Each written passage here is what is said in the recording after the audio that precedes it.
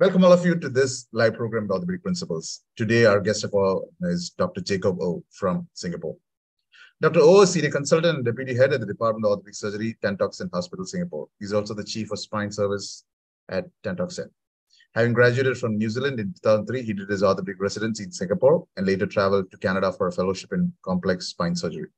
His current practice focuses exclusively on spine surgery with a special interest in adult spinal deformity, spinal navigation, robotics, and minimally invasive spine surgery. Dr. Jacob serves on the executive committee of the Singapore Spine Society, the Asian MIST, and is the current AO Spine chairperson for Singapore. Dr. Jacob O has published in more than 50 peer-reviewed journals and has won several awards for his contribution to clinical work and teaching.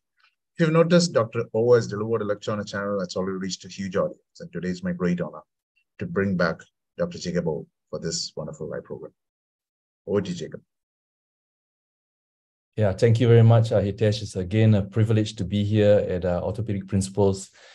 Um, you know, your your your this program has been such a success. It's reached all the way down to my colleagues down here, my residents, and they talk about it.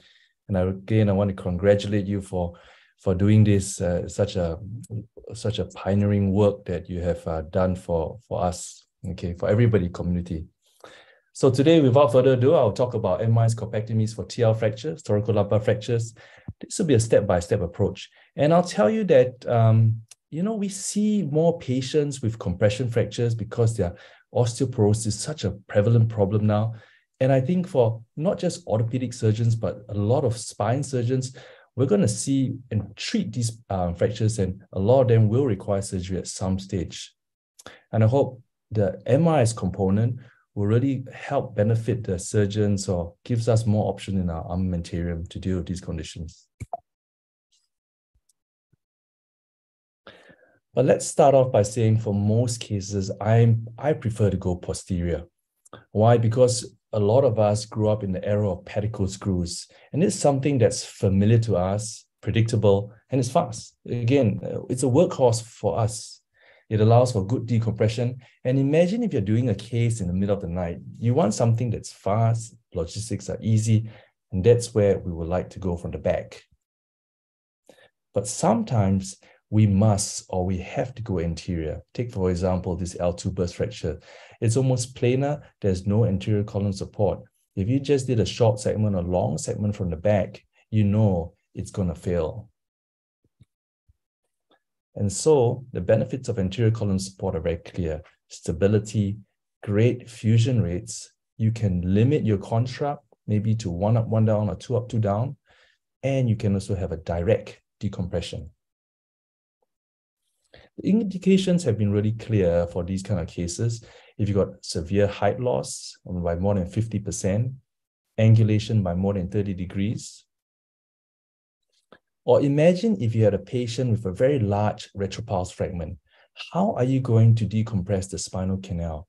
From the back, yes, you could argue that you could let the spinal cord float backwards, but to how much? If the retropulse fragment is occupying about 70 to 80%, of the canal, then you can only allow it to flow back to a certain degree. And that's where some surgeons will indicate, will suggest that you should go from the front to remove that fragment. And other recent classifications, such as the German classifications, suggest that uh, for OF, that's uh, osteoporotic fracture, the type 4 and 5, you should consider some form of anterior column support. But for those who are new to this um, approach going from the front, a few things that we need to consider in terms of the anatomy of the patient. First of all, um, let's start. There, there are four main areas, I would say, if you're going from the front. Let's start from the bottom first, right? If you're doing an L5 fracture and you want to do an L5 corpectomy, then you will consider a L5 direct anterior approach similar to the ALIF. Look at the picture on the left. What you can see is that you need to mobilize the um, aorta and the IVC to uh, visualize L, the L5 vertebral body, and then you can perform your corpectomy. The reason why you cannot go from the side is because of the iliac crest. So that's why you need to do a direct anterior approach, very similar to the ALIF approach. Moving further up the lumbar spine, we talk about the L1 to L5 lateral approach, also known as the lateral retroperitoneal approach. And that's popularized by the OLIF XLIF approach, right? Um, and this, we go through the, the picture on the left, you see the external oblique, internal oblique. These are the normal muscle layers that we're all very familiar with, okay? And then as you move higher up, you talk about the lateral retropleural approach. And you can see that at um, T11, for example, a T11 or T12 uh, fracture, notice that the diaphragm, okay, ends over or starts over there, right? So everything below the diaphragm is retroperitoneal. Everything above the diaphragm, okay, is your the, the lung. So you can see this is the part where you have to consider you're going, you cannot go retroperitoneal, it's retropleural or even transthoracic. And if you want to, and, and this picture on the left shows you the picture of a uh, of the diaphragm. You can see it's like an umbrella, right? Umbrella. And at L1 to L5, you can see very clearly you can go retroperitoneal. But at T11, T12, okay, then you got to go above the diaphragm, and then you're talking about into the thoracic, um, thoracic cavity. Anything above that, for example, in the mid-thoracic spine, you're talking about a right transthoracic approach, a right retropleural approach. The reason for that is because the aorta is on the left side, all right? And, but a lot of us, for example, myself included, when it comes to, for example, a T6 or T4 fracture that requires anterior support, I like to go from the back because uh, the thoracic spine, you can easily cut the nerve roots, and so you can easily slip in a cage through a costotransversectomy. But if you talk about lumbar spine, you cannot sacrifice the nerves. So you got to bypass the nerves and go from the front through one of these approaches. Of course, going from the front is not routine, and there's a reason why that is. And these are the disadvantages highlight, highlighted in the red box. Blood loss in acute fractures can be significant.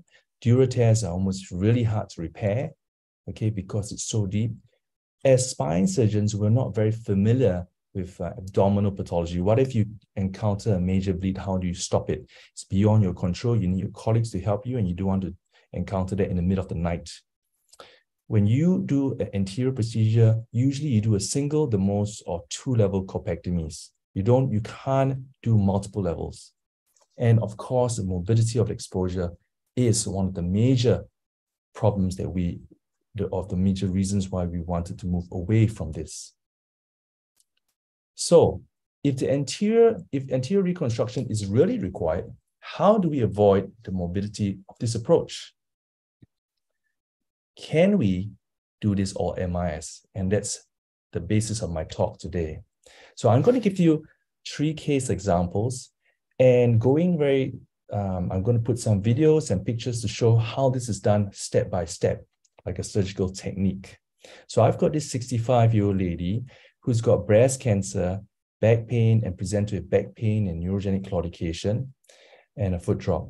And she essentially had an L4 pathological fracture from METS. This is an MRI scan. You can see there's significant collapse, severe cauda equina compression. And so she needs, definitely she needs a direct decompression. And so I chose to do this all MIS. You could do this from the back and do it open or percutaneous, but uh, uh, the anterior column is a concern for me. So I decided to do everything from the front. And this is what I did. I did L4 corpectomy and posterior fixation. I'll break it down to four main steps, approach, corpectomy, decompression, reconstruction, and the fixation. This is what the final outcome. And let's see how I did it. The approach is the retroperitoneal or the OLIF approach. You can see the patient is placed lateral on an Emsco table. And I start with a true AP first, and you can see those wires along the L4 vertebral body. That's what we did for, we did an angioembolization before the surgery. Okay, and then I mark the levels of interest like so. And that's the final incision that we're going to use. Um, it's a 5 cm oblique incision. You can see the vertebral body has collapsed so much that um, that our incision is going to be actually quite quite small. And you can see, first of all, the external oblique fascia is seen and split. There's a transversalis fascia. And then you see the retroperitoneal fat. And then you see a psoas. This is exactly the same as the OLIF approach. Okay, then you dissect all the retroperitoneal fat away to expose the anterior border of the psoas, which is the oblique corridor. And I'll just show you the video how this is done.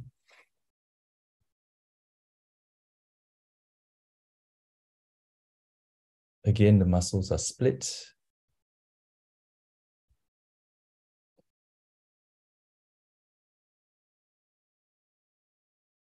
And you don't detach the muscles from its insertion, just split them. Okay. And that's the retroperitoneal fat down there. And very easily, you just sweep everything anteriorly and you put your finger inside there to feel the, try to feel the psoas muscle as well. And once you see the psoas, you're quite happy that your that's your lighthouse, as I say again. And then you just follow the psoas and dissect all the fat and the peritoneal contents away.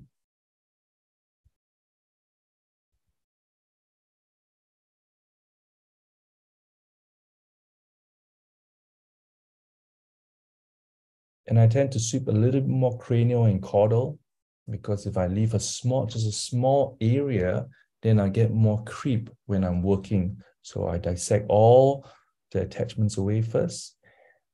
Once that's done, I use this lip retractors. I have a lip and I just hook the psoas back a little bit. And I just feel for the for the vertebral body or the disc space. Usually the disc space is a little bit more prominent And that's our area of interest. I'll move on and you can see the retractors are placed inside and it's opened up and you can see from the x-ray the picture on the left shows me get putting the wire at the L45 disc space, okay? And then when I open up the retractors, you can see the orange um, arrow uh, when I open it up, you can see the orange arrow shows the blades, the, the, the cranial blades opens up and I encompass my area of interest, which is from the L34 disc space and the L45 disc space. So my L4 corpectomy can be easily performed. And that's how it looks like underneath the microscope. I actually don't use the microscope normally to, I just use loupes when I'm doing this procedure. But in this case, okay, is for an illustration. I took the photo and you can see the L34 disc is here, L45 disc, and then there's the pedicle behind. And then now we move on to the corpectomy. I always start off with the discectomies first. You know, you can argue, oh, I'll start off the bony work first, then it's faster. But once you do your bony work and corpectomy, there's going to be a lot of bleeding. And I like doing the discectomies first because I, I really want to get a nice, good uh, fusion bed. So I work, I take out all the end plates, I get a nice level area, and then I worked on work on my um, corpectomy. I use a corp to walk on the end plate.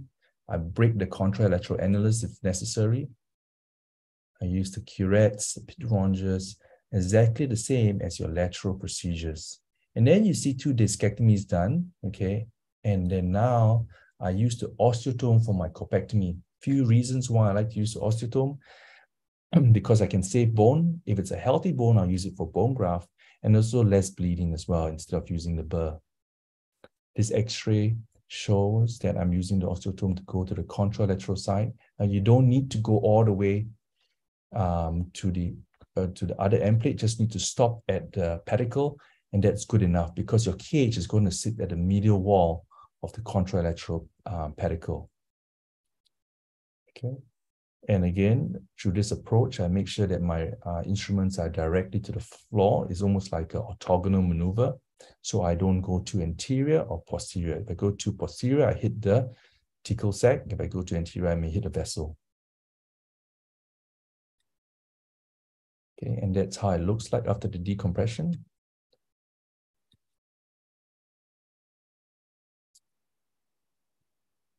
Sorry, and then uh, this is the video for the corpectomy, I mean.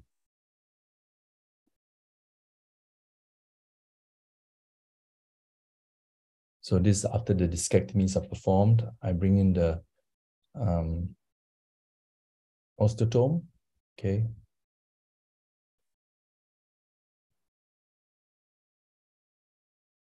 And under fluoroscopic guidance, so I'm safe, okay. And then just by using the pituitary rongeurs, you can take out big chunks of this bone.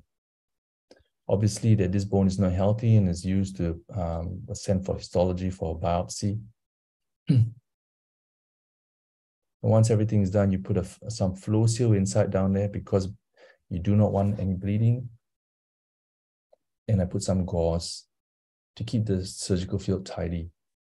And then once that is done, I'll move on to my decompression. So it's pretty, the steps are pretty for, straightforward, right? Approach, discectomy, is corpectomy, and then now I'll do the decompression.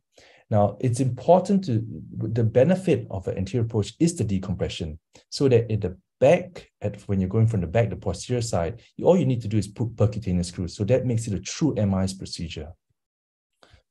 Okay, so first of all, how do you get to the canal? I identify the pedicle, and that's the anterior margin.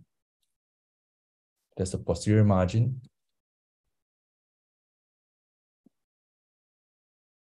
And as you can see, it's the pedicle.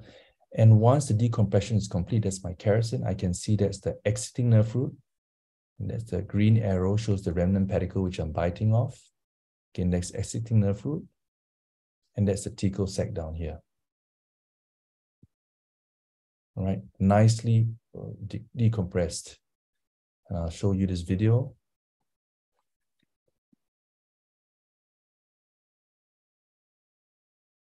So the retractor has not moved since the start of the operation. Okay, it gets a little bit bloody here, but you can see in bone that's invaded by tumor is all just really soft. So I just take a curette and just peel it off just very gently. There's always quite a lot of bleeding sometimes, but this is easily controlled with some thrombin and FloSeal and a bipolar. Okay, so once you see the exiting nerve root, okay, because you've created a corpectomy, and this is the important step, right? Because you've created a corpectomy, what we do is we pull the retropulse fragment into the defect, right? So that makes it safe. You're pulling out everything that's hitting the canal away from the cord or away from the thecal sac, right? And it's why we always advocate doing the corpectomy first and then the decompression. And so that's the final result. Everything is nice and nice and uh, free.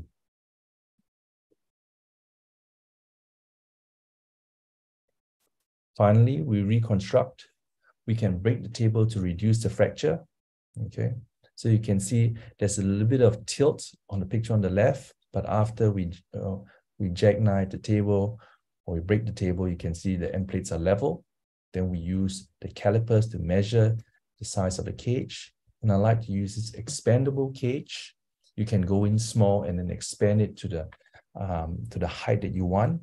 And you could also can see there's a bit of um, that this cage gives the end plates give you a certain amount of lordosis that is required. And you can put it in small, okay? And then after that, you slowly align it, okay? And you jack it up. And you look at it from the AP and the lateral is satisfactory, you're happy. That's the final result. And then you go from the back and just drop in your screws. No decompression required, no stripping of the muscles, so you can see the total blood loss is about 250 mils. It does usually take a little bit longer because you're doing a front and back procedure, but you know, at the end of it, you know, the patient's pretty happy and probably worth it. at one year post-op, look at the fusion over here. All right, you can see um, that through that cage, this expandable cage, the bone has integrated not only in the at L3, but only also at L5. And so you know that you don't have to worry about this thing going to um, loosening pseudarthrosis or even before it fuses, whether you lose, you, uh, there's loss of alignment. So that's the first case. The second case is quite similar, another L, uh, L4 burst fracture. This lady over here, um, you can see that uh, severe canal compromise.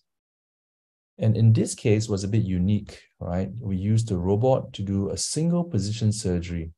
See, that's the robot. Patient is placed lateral. Same thing, we used the uh, MRI's retracting retractors. The discectomy is done, decompression is done, so it's very reproducible and my resident likes it, gives, gives it a good thumbs up. And then this is the part because, because the corpectomy cage uh, is so strong and gives has a good such a good footprint, we can limit the length of a construct. We don't, you know, general orthopedics normally say, oh, let's go long, three up, three down because the patient has osteoporotic bone. Let's put cement inside down there. But the problem is this is different from a long bone the spine has many segments, right? So the issue is that if it's too stiff, what happens? It goes into PJK. So that's why we like to limit the construct. So because we are able to do perform anterior reconstruction, then we can just, I just did a one up, one down. And using the robot, you can see what I'm looking at. I'm looking at the screen. I'm seeing my screws go in. These are the downside screws, single position, okay? And these are upside screws. And my resident is having a go as well okay? And that's one up, one down construct with cement. And that's how it looks like, right? So I save her levels, okay? And, and this is the beauty about it, right? Post-op day one, she's in the general ward and she's sitting up on day one. She's ambulating on day two, okay? Her leg pain is resolved. And look at this, look at her walking on day four, right? She's independent with steps. Now, you're not going to get this with a conventional anterior thoracolumbar approach, open, you know, they are going to stay for a long time. And she's 76 years old, right? And you can see this is her at six weeks when I see her. The wound has healed up which is four step wounds. Okay, the little dot on the bottom, that's the that's for the robot, that's the percutaneous pin. But she's walking around, she's thinking of doing her housework, and I say, No, you hang on for a while. But this shows the the beauty about the minimally invasive approach um, that, that everybody can do. And it's not it's not difficult right? And finally we talk about the lumbar spine. I'm going to show you a case that's a bit different that this is t12 another very common scenario right? A t12 you can see is planar what do you do for this lady? Okay. She's 88 but she's a good 88 now imagine this was a 70 year old lady, right? You're gonna you have you can't ignore it because look at the MRI scan. There's cord compression, there's cord signal changes. She's myelopathic, right? She can't really walk steady. So a T12 burst, unstable, we need to address a few things. The kyphotic deformity, we need to decompress, and we need stable fixation. So how will you manage this? I know there are many ways, two up, two down, put some cement inside down there. But if you want to do a minimally invasive approach, it's now possible because we have the right instruments for that. And this is what I did. I did MIS T12 corpectomy, a T10 to L2 stabilization, okay, with a direct decompression. So at this area, remember I say it's different. It's a retropleural approach. So I see the T10 rib. Again, if you see a T12, usually the rib that you see, if a T12 vertebral body fracture, usually you're taking out two ribs above the fracture level, so T10, okay? Once I take out T10, I see the pleura underneath there. And this is what you see. You can go transthoracic, but usually you can see the lung is beneath there and you can see it's, the, um, it's moving up and down, but usually we try to go retroperitoneal so that you don't enter the thoracic cavity, less risk of uh, lung problems. So just peel that layer down, okay? So that's why I say And then slowly you work your way to right down to the spine. You can see we're slowly working our way forward. There's the spine down there, right? And you can see on your bottom right, a little bit of that psoas muscle creeping in here. Okay. And same thing, steps are the same. Once you get down to the spine, you do the decompression, discectomies, decompression, and put a cage in. Very straightforward, right? Reproducible. So that's how it looks like. T11, 12, T12, L1, the burst fracture is there. After the corpectomy, we put a cage. That's how it looks like. And day one, I got her to stand up. That's pretty good, right? And then and then look at the decompression she had a little bit of numbness after that. So, and then so I just decided to get an MRI scan, look at the decompression compared to what she, there was before. And again, the fusion is, it's astounding when you think about uh, these corpectomy cases. So to, to finish off, I'll just say the posterior approach is great. It remains the workhorse for most of our cases. But for certain cases, really anterior column support may be necessary. And because we can now do this using an MIS approach, so much of that morbidity is gone. We can have all the advantages without the morbidity, and we can offer this to so many for to elderly patients uh, and get them up and about much faster. And again, it improves the surgeon's armamentarium in managing all uh, fractures. So with that, um, I thank you very much for your attention, and um, I'm happy to take any questions. Thank you, Jacob. Uh, Jacob, you, you can stop sharing. Uh, thank you, Jacob, for this brilliant presentation and congratulations for the excellent work that you do at Tan Tock Seng. Thank you. Thank you, Hitesh. Uh, Jacob, uh, let's have a short Q&A. Jib, what bone graft substitute do you add into these cages? Is it demineralized bone matrix or what is it that you add for osteogenesis? Yeah, that's a good question. You know, when you have, um, most of the time I take their own bone right? Because you get corpectomy, so you can get quite a lot of bone. But if it's tumor cases, well, you just put some DBM inside down there, and that's what most of the time what I use. Now, even though you don't have so much bone, it's okay because what happens the contralateral side you haven't touched. So the contralateral side will tend to fuse as well. So a combination of factors, the back is quite stable because you haven't caused much destruction to the to the mus- musculature of the back. And in between the cage, you put DBM, it fuses, and in, and the sides also fuses because of its natural healing potential. So yeah. Thank you, Jake. And what is the situation with the uh, bone morphogenic protein? At one point of time, we talked a lot about uh, RHBMP7, and then there are a lot of issues, especially the lower lumbar area. So is it still available, or have you used it in the past? No, no, no. It's still available. I think uh, a lot of that um, well, it really started in the Spine Journal by one of the editors, uh, Eugene Carragee. Eugene that's Carragee. right. That's right. Eugene Carragee. You're a spine guy, I can tell, right? and then the biggest buzzword was whether this was uh, where cancer was involved, you know, and everybody started getting a bit worried. But I think there are many studies now to say that um, it is not really, there's no really a direct correlation with the cancer, right? And many people are still using it. And I think a lot of complications such as um, uh, too much bone formation, radiculitis is usually related to the dose as well. So now uh, a lot of times we use less amount of BMP, don't overdose, and we are careful. We don't use in the cervical spine because it causes seroma. Now, the reason why I think these uh, substitutes are still important because MIS cases, you can't take so much bone, right? Unlike open cases where you can, you got so much bone to use. But if you want to be an MI surgeon, sometimes you may have to use um, BMP, and it has help, been helpful. But you're right, the issue is sometimes with the cost. Um, but we do counsel the patients of all these all these risks involved. Thank you, Jacob. And Jake, you've shown uh, examples where you've used fluoroscopy as well as robotic. Now, do you think robotic has a significant advantage, especially when you look at radiation exposure to your staff, your colleagues? I mean, do you think that's an advantage? And is there any disadvantage with the robotic? I'll tell you, robot um, at this point of time, I think robot technology is um, still still new, right? But robots, um, I, I, would say that the radiation is maybe slightly it's similar because for a very experienced surgeon using the freehand technique, they'll say, "Hey, I don't need to take any any X-rays at all, right?" And say, "I only need two X-rays." For robot, you still need to do some registration, the merging of the pre-op CT, and uh, and and sometimes verifying your your your construct.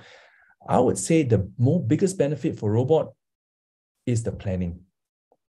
So because you get your CT before that and the software, so you can plan your screws to the largest diameter, the longest diameter, and not just that, you can plan the entire construct from, for example, L2 to pelvis. So your screws are going to line up exactly what you plan it to be, right? And so that's the best part of the robot. And there are many things to do. It, it can put screws at very odd angles, for example, single position surgery, iliac screws, difficult small pedicle screws. I think it's, it's very promising what's out there, but it's very costly, right? So, so you think uh, the radiation exposure is significant even when you use a robot? Yes, it is. It is because um, you still need you still need to check your screws at the end of it, right? You still need to merge that, that data. You need, still need to do a CT scan. The patient still needs to do a CT scan pre-op. So there, the patient is going through some radiation. But maybe to staff, well, at this point of time, I still use um, the the the quite a lot of fluoro to check the screws as well. So, but maybe in the future, less. We'll see. Thank you, Jake. And Jake, how often do you get uh, neurological deficits in osteoporotic vertebral fractures? Because we see all these fractures very commonly, and very rarely do we get deficits, right? So, like, what is the percentage? Say less than five percent or ten, or how is it? Well, yeah, I think a lot of them you see in the outpatient clinics. You see the compression fracture is so bad, so collapsed. Patient has not much pain, right? Or even they've got a lot, so a lot of pain, and MRI scan shows there's canal compromise I would say less than 10%. Yeah, not everybody gets uh, symptomatic from it. And once it fuses, the canal remodels and they they're okay. They're okay. A lot of times, sometimes they may complain of some thigh pain, some thigh ache, right? But it doesn't mean I, I don't always rush in to do surgery on these patients because they they um, a lot of them surgery has its risks, especially in these osteoporotic patients. Sometimes you see their BMD scans is minus score is minus 3.5, right? So uh, it really depends on how significant their neurology and how significant their pain is, then I'll tend to intervene. Yeah. And what would be your optimal time? So would you wait for some time for recovery, partial recovery, and then intervene? And how uh, how do you plan? Approximately what what time? Yeah, when the patient comes to me, like most of these patients, normally the first time when they're in acute pain, I take an X-ray, I take a standing X-ray. If the if the collapse is not so bad, I just send them home first and and see them back in about two weeks' time. And when I see them back, if they're still very symptomatic and the X-ray collapses more, then I'll be concerned. So, um, so the, the the short answer is that when the second review, I look at how bad the fracture has collapsed and how symptomatic they are and this that's that's one group. Of course, the ones that are very severe and the initial presentation, if they got neurology, and that's a different case. But I think we're talking about those who have like common garden compression fractures. How do we manage these patients? Most of the time they do okay, but if serial X-ray shows they, they compress more, they become more planar, they become more kyphosis, and they're symptomatic, then I tend to intervene. Not more, not too late, not not too early as well. Right. Thank you, Jake. Jake, one last question before I end the session. Jake, what is the role of a vertebroplasty or a balloon augmentation? Uh, I mean, using cement. Do you do you still have it in your armamentarium to treat these fractures? Yes, I do. Um, I I feel that it's a it's a very good procedure sometimes for those patients who are in a lot of pain, right, and really can't get up. I don't do it straight up because uh, let's say patient comes in with a compression fracture. I don't inject them within the first one week. Most of the times, most surgeons will wait for a while. If the patient is uh, improving and they're mobilizing, we just let to leave them alone. But more importantly, treat the osteoporosis. However, if they're bed bound for three weeks, then I'll just uh, I'll offer them the procedure. There are many types: vertebroplasty, kyphoplasty, stentoplasty. You pick your choice. I think more or less the same, but just be careful of the burst fractures. You do not want the cement to leak out of that and cause problems. Yeah, but yes, Sean says yes, it's still helpful. Thank you, Jake. Uh, Jake, I think that's all the questions that we have for this session. Thank you for yet another brilliant presentation. And I'm sure this is going to be, benefit a lot more people, more than Singapore, more than Malaysia. It's all over the world. Thank you, Hitesh. So good to see you. And uh,